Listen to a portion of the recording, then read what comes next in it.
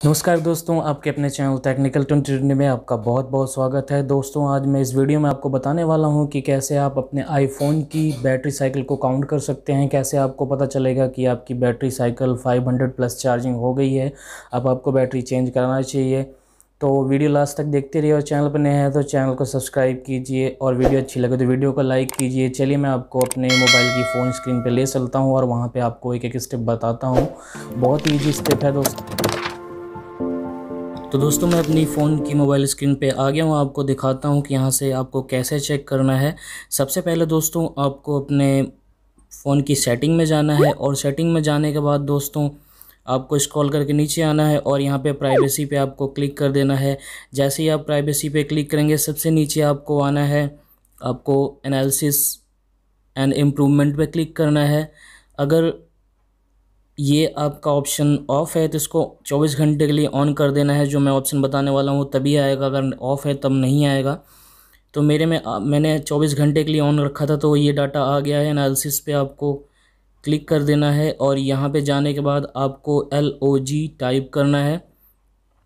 और ये log aggregated का ऑप्शन जैसे ही आएगा, इसको आपको पूरा कॉपी कर लेना है, दोस्तों। देखिए, यहाँ से आप कॉपी करेंगे, बहुत टाइम लग जाएगा। अगर आईफोन 11 या 12 में है तो उसमें जल्दी हो जाता है। आईफोन 7 6 या 8 में थोड़ा सा टाइम लगता है। तो उसके लिए सबसे बेस्ट ऑप्शन बताता हूँ आपको। सबसे नीचे स्क्रॉल करके आना है आपको। सबसे नीचे स्क्रॉल कर देना है। सबसे नीचे स्क्रॉल करने के बाद आपको यहाँ पर कॉपी के लिए सिलेक्ट करना है और एकदम ऊपर ले जाना है धीरे धीरे स्क्रॉल करने के लिए। और यहाँ पे आपको पूरा सेलेक्ट कर लेना है।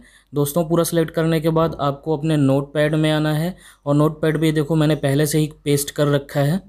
तो ये कुछ इस तरह से आपको पेस्ट कर लेना है और पेस्ट करने के बाद आपको यहाँ पे थ्री डॉट का ऑप्शन दिख रहा होगा, यहाँ पे क्लिक करना है और यहाँ पे क्लिक करने के बाद फाइंड नोट का ऑप्शन पे क्लिक करना है।